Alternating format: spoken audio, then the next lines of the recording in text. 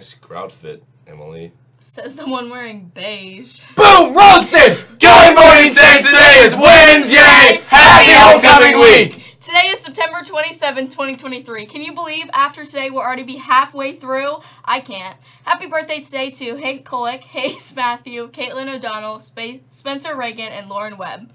The saint of the day today is Vincent de Paul. Saint Vincent de Paul. The church is for all God's children, rich and poor, peasants and scholars, the sophisticated and the simple. But obviously, the greatest concern of the church must be for those who need the most help. Those made helpless by sickness, poverty, ignorance, or cruelty. Vincent de Paul is a particularly appropriate patron for all Christians today when hunger has become starvation and the high living of the rich stands in more and more glaring contrast to the physical and moral degradation in which many of God's children are forced to live. On the menu today in the Saints Cafe, spaghetti and Bosco. Mmm.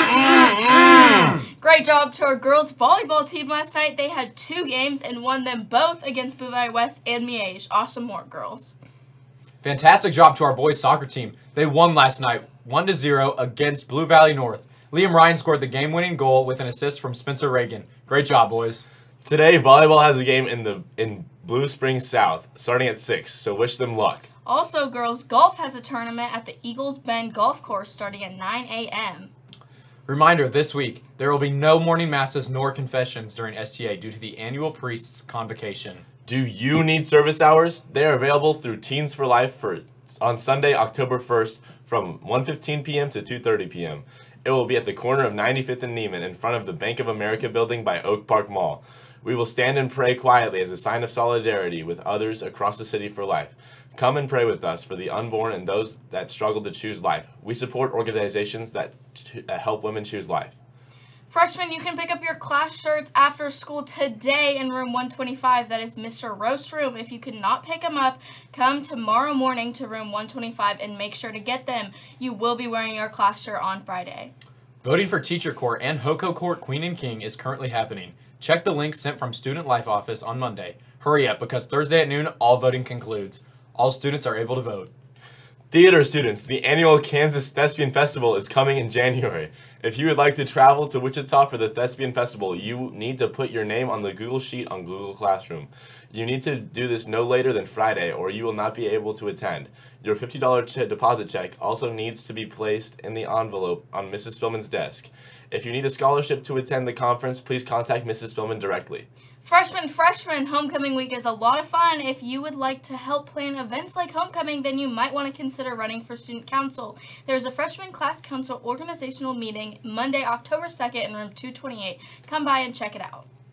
Have you purchased your tickets for the homecoming dance? Time is running out. Purchase your tickets today. The cost is now $40 per person. You can use the QR codes on the posters in the hallways, or you can go to the current families on the STA website. If you want to pay with cash or check, then you can purchase your tickets from Mrs. Ball in room 206. Reminder to all students to bring your student IDs to the homecoming tailgate and or if you're an athlete, you can wear your school issued uniform to gain entry. It starts at 5 p.m. in the Commons. Saints, it's homecoming week. Today's theme is monochrome, monochrome, and tomorrow is rhyme without a reason. If you're not sure of what to do, one example could be one friend could dress scary and the other could dress as a fairy. They rhyme but have no reason to. Today's Spanish Heritage fun fact is that there are more Spanish speakers in the United States than in Spain, if you count people who speak Spanish as a second language.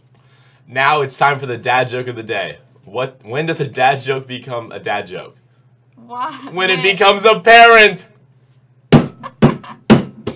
Thank you for watching the Halo Morning Show. We'll be back with more for you tomorrow. I'm Emily. I'm Carter. And I'm Isaac. Signing off. Remember, stay classy, Saints, and together we shine. Dang